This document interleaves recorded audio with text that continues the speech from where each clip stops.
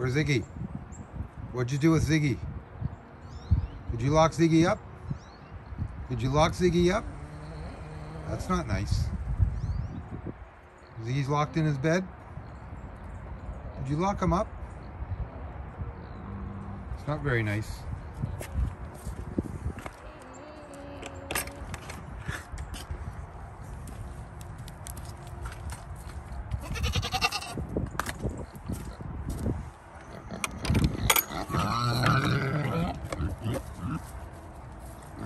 Say sorry.